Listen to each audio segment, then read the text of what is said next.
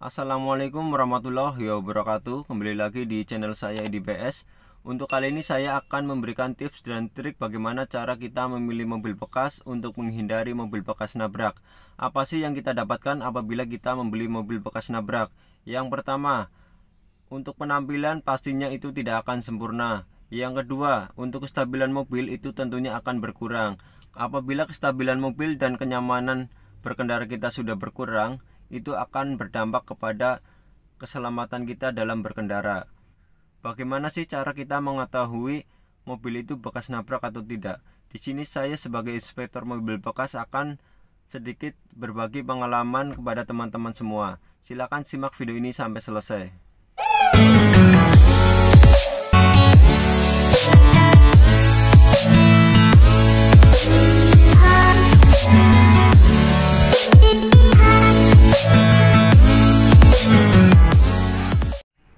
Langsung saja saya akan memberikan tips dan triknya bagaimana cara saya mengecek untuk mendeteksi mobil itu bekas nabrak atau tidak.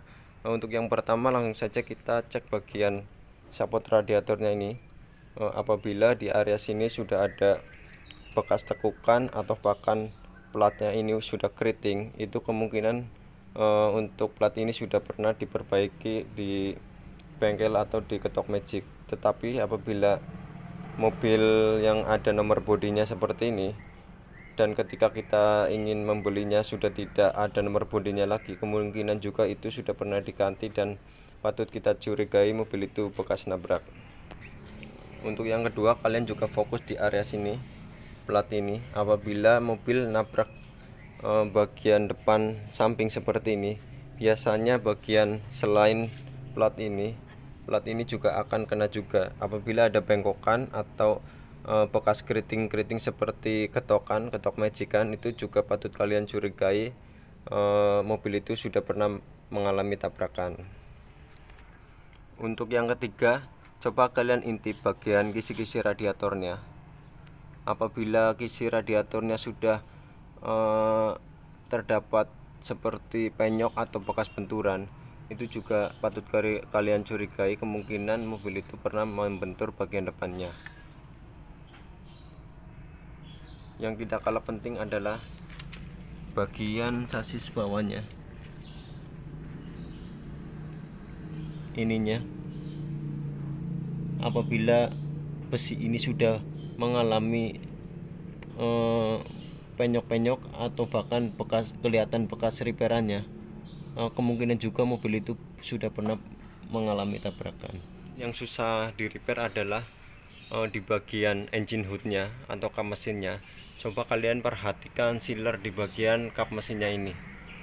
Begitu juga penampilannya apakah sudah ada bagian yang uh, sudah keriting besinya platnya ini sudah keriting atau bekas uh, perbaikan seperti ada lakukan-lakukan seperti itu. Itu kemungkinan mobil itu sudah pernah diketok magic. Tetapi kalau bagian sealer ini uh, untuk mendeteksi sealer ini sudah pernah diganti atau belum kalian tinggal tekan aja begini. Kalau sealernya empuk itu sealer bawaan dari pabrik. Tetapi kalau sealernya benar-benar keras kemungkinan itu udah pernah disilar ulang. Menurut saya ini trik yang cukup bagus bagaimana cara kita mengeceknya. Karena sealer ini kan e, berbahan karet ya. Kemungkinan kalau besi bisa diketok magic tetapi kalau silernya ini sudah kelihatan nekuk-nekuk atau keriting kemungkinan itu mobil sudah pernah diperbaiki. Seperti kita lihat nih ini silernya bagian sini. Ini hampir silernya sangat mulus. Apabila ini sudah pernah e, mobil ini pernah nabrak dan platnya nekuk ini silernya itu tidak akan semulus seperti ini. Selanjutnya kalian fokus pada bracket-bracket yang ada di headlamp.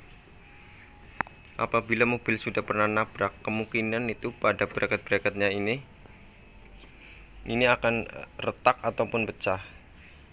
Kalau mobil nabraknya enggak ekstrim dan yang kena di bagian depan headlampnya enggak kena tetapi bracket-bracket ini nantinya dia akan pecah atau retak karena ini menjadi kesatuannya. Jadi ada apabila ada salah satu yang kena benturan maka uh, di sini pun akan ketarik. Selanjutnya kalian juga bisa cek di bagian bracket radiatornya. Uh, untuk mobil yang sudah pernah nabrak biasanya bracket ini akan pecah atau retak. Kalian cek aja di semua sisi atas bawah kanan kiri. Apabila ada tanda-tanda uh, retak ataupun pecah itu kemungkinan juga mobil itu sudah pernah nabrak di bagian depannya. Selanjutnya coba kalian tutup kap mesinnya. Apabila nanti ketika kalian tutup eh, kap mesinnya itu tidak langsung tertutup dan terjadi membal. Nah ini kan langsung ngunci ya langsung ketutup dan apabila ketika kalian tutup kap mesinnya itu membal kemungkinan itu body fittingnya udah berubah. Uh, itu juga patut kita curigai juga apakah mobil itu sudah pernah tabrakan atau belum. Selanjutnya kalian cek uh, gap pada panel-panel mobil itu sendiri seperti ini. Coba kalian raba antara level dan gapnya itu antara kanan kiri itu sama atau tidak seperti contoh untuk gapnya ini uh, sama ya. Antara atas sampai bawah begitu juga dengan uh, di bagian sisi sebelahnya. Seperti ini. Ini antara kanan dan kiri itu gapnya sama. Apabila mobil sudah pernah nabrak dan sudah pernah masuk body repair untuk uh, body fittingnya ini kemungkinan itu akan berubah tidak akan seperti standar dari pabrikannya. Kalian juga cek juga untuk gap di bagian sini karena apabila mobil nabrak di bagian depannya dan fendernya kena uh, untuk gap ini nantinya dia akan berubah. Biasanya ini akan menyempit. Kalian cek kanan kirinya juga apabila gapnya itu udah berbeda jauh kalian juga patut curigai intinya untuk semua gap pada mobil kalian cek aja. Apabila ada gap yang terlalu ekstrim perbedaannya antara atas dan bawahnya itu ekstrim kemungkinan itu udah pernah uh, diperbaiki. Dan untuk body fittingnya biasanya untuk bawaan pabrik itu uh, cenderung dia akan sama. Untuk perbedaannya itu tidak akan jomplang selanjutnya kita fokus di bagian bodi mobil atau cat yang ada di mobil. Coba kalian perhatikan antara uh, engine hood atau kap mesin fender pintu terus roofnya atau atapnya. Apabila ada perbedaan yang sangat mencolok untuk warnanya itu enggak matching itu kemungkinan juga mobil itu sudah pernah uh, dicat ulang. Saya sedikit memberikan uh, caranya untuk mobil yang bekas dempulan atau sudah dicat ulang itu sebenarnya sangat mudah. Uh, apabila mobil uh, sudah pernah didempul bahkan kalau dempulannya tebal itu ketika kalian getok seperti ini dan kalian getok di bagian lain itu biasanya akan suaranya akan berbeda. Biasanya untuk mobil yang masih kaleng itu cenderung uh, suaranya itu nyaring. Kalau mobil yang sudah ada dempulannya itu suaranya uh, agak sedikit kedap ya. Mungkin seperti itu caranya untuk mengecek mobil sudah dempulan atau belum.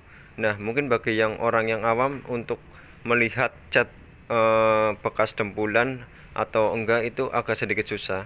Tetapi saya sedikit memberikan uh, triknya. Untuk mobil yang sudah dicat dan ada dempulannya itu biasanya di bagian catnya itu untuk kulit jeruknya uh, sudah hilang ya. Itu akan terlihat lebih halus. Karena ini mobil uh, sudah di wrapping dome makanya saya agak susah untuk menjelaskannya.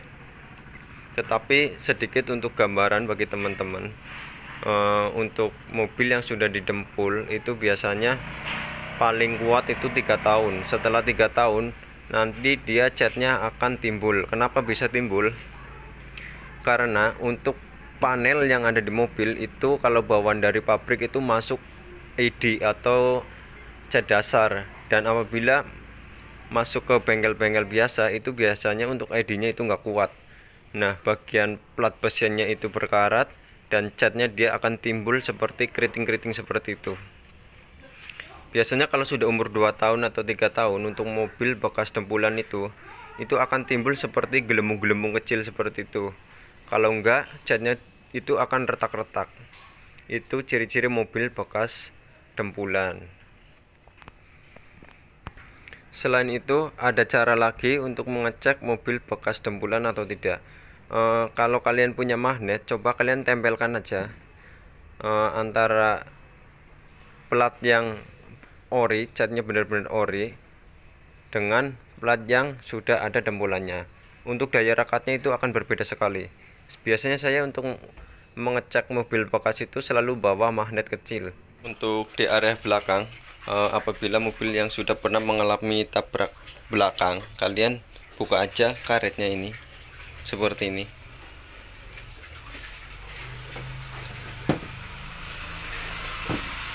Dan kalian lihat bagian besinya ini. Apabila besinya ini sudah terlihat seperti pernah terkena benturan atau bentuknya itu sudah tidak uh, seperti bagian lainnya seperti ini itu kemungkinan juga mobil itu sudah pernah ditabrak dari belakang. Selanjutnya coba kalian uh, hidupkan mesin pastikan uh, sistem airbagnya itu masih berfungsi dengan baik. Uh, dan apabila indikator pada airbag itu menyala itu bisa kalian tanyakan kepada pemiliknya. Apa karena sensor airbagnya itu sudah pernah berfungsi atau sudah pernah mengembang atau hanya uh, jalur spiral yang ada di klakson itu putus? Biasanya di antara dua itu yang bisa menyebabkan uh, indikator itu indikator airbagnya itu uh, menyala. Yang paling terakhir adalah kalian coba test drive di jalan yang uh, mulus ya. Kalian bisa coba di jalan tol. Untuk kecepatan 80 sampai 100 kalian rasakan untuk stabilan mobil itu uh, bagaimana. Apakah dia lari ke kiri atau lari ke kanan uh, atau bahkan ketika kalian coba uh, injak rem dal dalam itu uh, terasa banting atau tidak. Mungkin itu saja sedikit tips dari saya bagaimana cara memilih mobil bekas untuk menghindari mobil bekas nabrak. Untuk teman-teman yang baru bergabung di channel saya, uh, silahkan subscribe channel ini agar bisa mengikuti video-video selanjutnya. Dan untuk teman-teman yang sudah subscribe, saya uh, ucapkan banyak terima kasih karena untuk kemajuan channel saya ini berkat teman-teman semua. Semoga saya selalu semangat untuk memberikan informasi-informasi yang bermanfaat untuk teman-teman semua. Uh, mungkin itu saja video dari saya. Saya ucapkan terima kasih sekali lagi. Uh, wassalamualaikum warahmatullahi wabarakatuh.